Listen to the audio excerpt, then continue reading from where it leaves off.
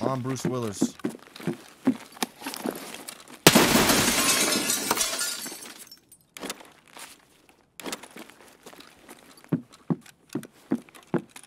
It's someone's gotta die hard. To be expected. Gator 1911, motherfucker. Daddy's home. Twitch Prime.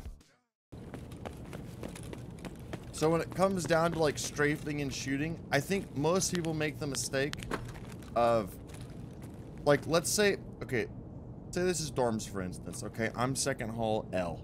Guys down hall past the beds, two jackets right here, right? Most people make the mistake of walking out just perpendicular and doing that, right?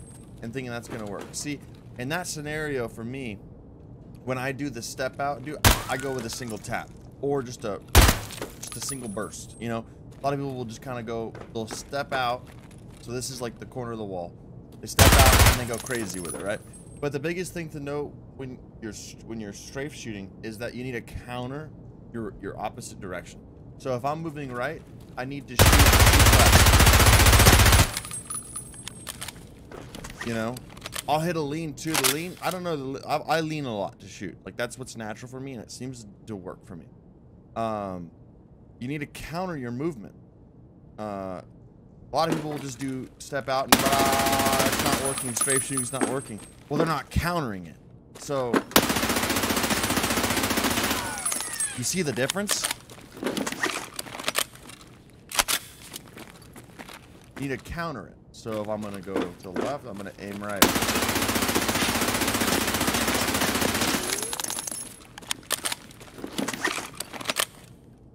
And then you can get your peeks and you know your strafe, your strafe. When I'm when I walk perpendicular, I'm just tapping. I'm not gonna spray because it's not gonna be accurate. Um, and if I do do it, I will hit a crouch. So if I'm gonna step out, just parallel, just I'll I'll step out, crouch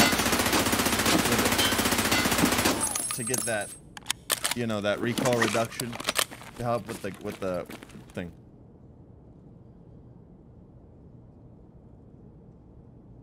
Does that kind of make sense? So, strafe shooting, aim opposite.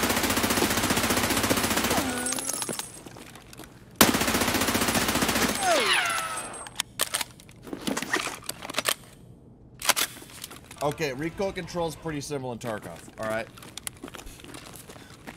Pretty simple. So, a lot of the times, I see players. I hit this guy 20 fucking times, but one, what we just went over, they're not they're not counter counter aiming. They're strafe, right, to hit shots, or they're dead standing up and moving. But so you're always more stable. You're gonna have less recoil when you're standing still. All right. So standing right here. I'm full stance, and I'm gonna shoot a few shots. The gun jumps a lot more. But every little notch, see, on, like if you do Control C, it'll slowly get better. So at a full crouch, you're gonna have you're gonna have the halfway mark of of reduced recoil reduction that you can on a full auto compared to that. Then when you lay down, it's almost non-existent. So a lot of the top Tarkov guys, what you'll see them do is run out of a corner, hit a crouch because they already know that's the lowest that's that's the lowest recoil they want without going prone to fully minimize their movement, right? So crouching is your friend in Tarkov. Even the shittiest guns could be made less shitty with a crouch compared to standing up and shooting.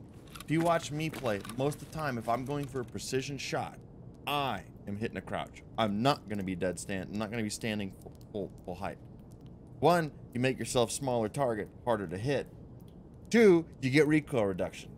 I'm done.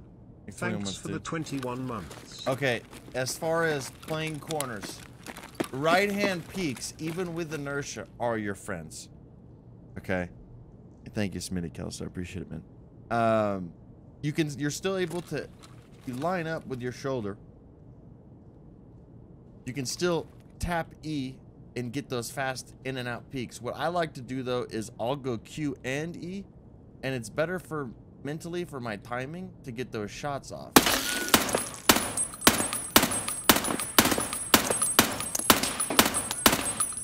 That shit still works. Now, left hand peeking is way more dangerous because of how much more you have to expose yourself. So your gun's on the right hand side, so you need to bring your gun all the way over and peek your full body while you expose, expose your thorax and your face. Wait, so the best way to set up is setting yourself up with a right hand peek. Left hand peeks are the 50-50 split. You're either going to kill the motherfucker or you're going to die.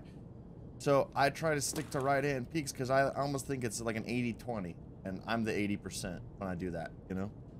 I can hold a lot tighter of an angle. I can just tap tap my E, get shots down range. I can also just walk up and without even thinking, just get some accurate shots down range.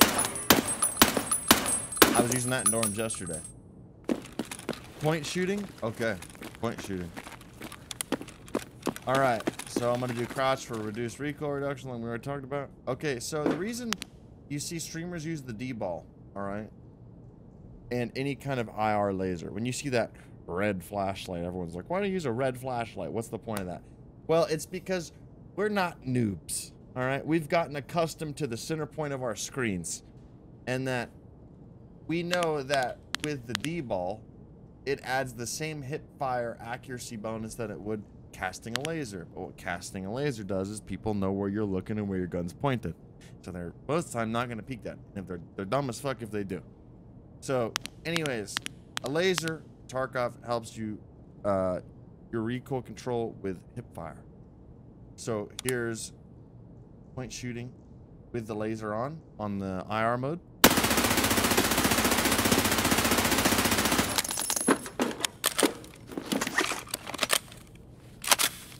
And here's point firing with the laser completely off the gun. Here's the difference.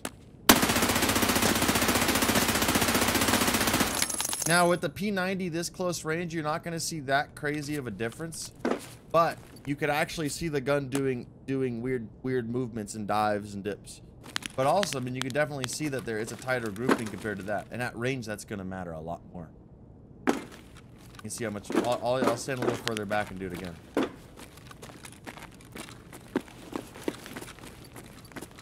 I'll do it on that wall over there. Okay the laser on. This is...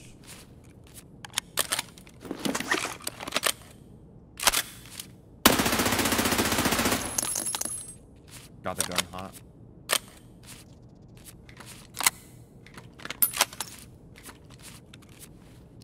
Oh no, I broke it.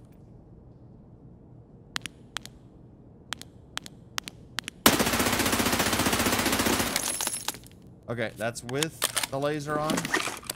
It's gonna be all fucked up because the malfunction.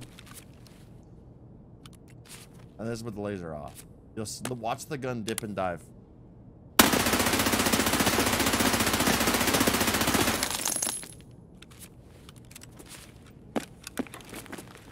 Now, because we had the malfunction, you can see our initial spray on the first before we had the malfunction. You can see how tight that is. And then you can see without the laser how all over the fucking place it is. That's why it's beneficial to run any kind of laser. Even in IR mode, if you don't want to cast laser, this being in the, the red flashlight mode, friggin' adds the bonus.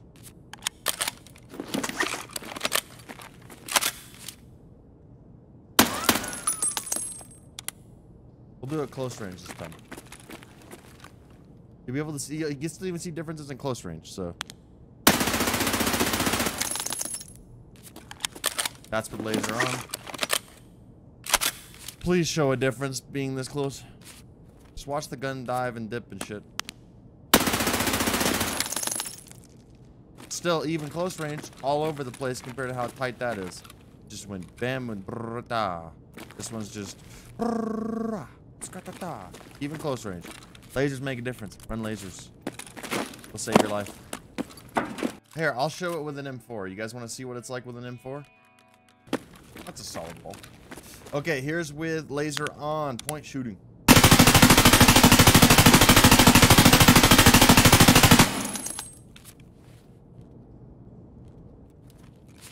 Nice. Been a lurker for a while and got gifted, so it's time to sup. Love from Russia less than three. Yo, love. Thank you, Claw. And here's without the laser.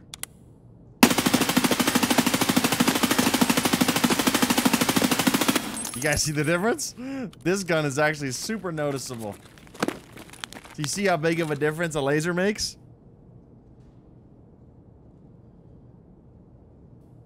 So IR, like I said, gives the same exact bonus to as a regular laser.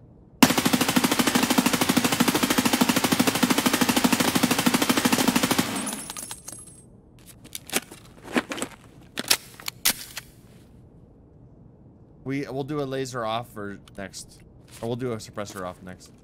Here's with suppressor or laser off.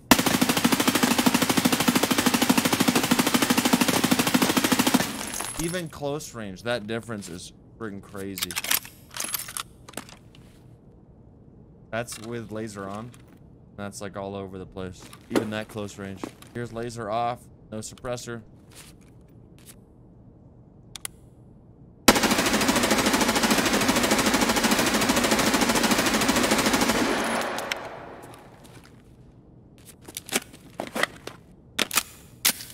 Alright, here's gonna be laser on. Suppressor. If you're comfortable with the center point of your screen, you don't need to run a la you don't need to cast the laser. Just run the IR mode to get the same benefit.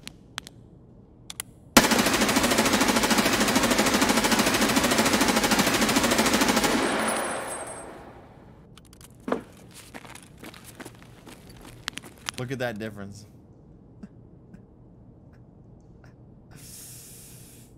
That's without laser. That's with laser.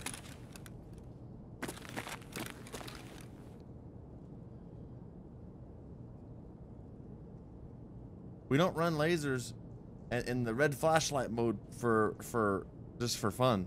Like we run them for a reason. This is called the DBAL. And actually, you know what shocks me? The amount of people that don't know that in chat that are actually just learning this. Okay. I'll lay down a play. So, I'm almost certain if you've played Tarkov, you've been in this situation. You ever walk, you ever find yourself in two-story dorms, you walk up the stairs, and you know there's a guy to the right, and you know there's a guy to the left, right? We've been in this situation. All right? So the, the whole point is minimalizing targets, you know? And setting yourself up for an opportunity to fight one at a time. Okay, so what I'll do in this scenario, I'm not actually gonna throw a nade right now, but um, what I'll do in this scenario, if I know there's a guy, they always sit right there, and they always sit down there near the bathroom, or right there. So, what I'll do in this scenario is, I will throw a nade down this hall, making this guy cover up. If, and if I want to ego peek someone, then I only have to worry about one target not getting shot in the back because this guy's worried about an M67 grenade, okay? M67s have five second fuse times. So as long as that nade's on the ground, I have five seconds of play without a guy pushing out that doorway. Five seconds is enough to clean up one dude. So I know, throw that nade. He's pushed in the room. I have five seconds to fight this guy, get back in cover, and then maybe I don't get this guy, but I hit him a couple times. He's going back to heal. I'll throw a nade down that hallway. Keep that guy away. And then I'll have to worry. Then I'll have a right-hander. I'll hit some jiggle peeks. Bam, bam, bam. Then I have one more target to worry about. Hopefully, I'll finish this guy off. I'll start shooting down at his door. Keeping him back so I can regain cover. You know, find hard cover and wait for him to peek.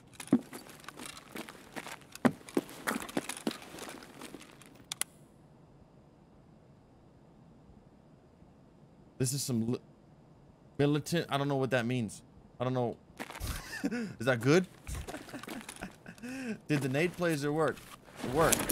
Fuse time on these. So this guy there, bam, he's busy. Gotta worry about this guy. Bam, bam, bam, bam, bam. Okay, that guy's not dead. I'm gonna throw a nade while he's healing. Keep him in there. I'm gonna worry about this guy. I killed him. Nade's still going off. I'm gonna retake cover. What if if someone's pushing you? The biggest thing that I've learned is, and you'll see me do it in fights, is that if someone's, someone, you know, most players what they do is a nade followed by a push. because they think when the nade's gonna push you in the room, but they're not gonna run on top of their own nade. All right. So most of the time, if you if you meet them with the same amount of aggression, it's a surprise. When you sit still, you're a dumbass, and that's how you die. So let's say a dude's throwing a nade at. Uh, actually, a scenario just happened the other day. We got a clip of it probably. We've all been in this scenario. We're fighting dorms. Guy down the hallway throws a nades. Throws it, lands right there. It blows up. You retreat back in here. You hear you hear a guy running down the hallway. Let that nade blow up. He's still running down the hallway. His gun's down. He doesn't expect someone to pop out and shoot them back. He's expecting to walk into the bathroom and gun your ass down unexpectedly. Most of the time, if you if you if you meet someone with the same aggression, you can get them. You have a lot higher chance than when he would around this corner and anticipate you and pre-fire you. If you meet him after his nade explodes and just get him.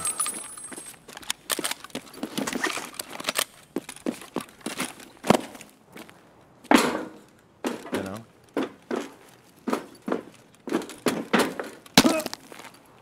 Alright, let's go put some else.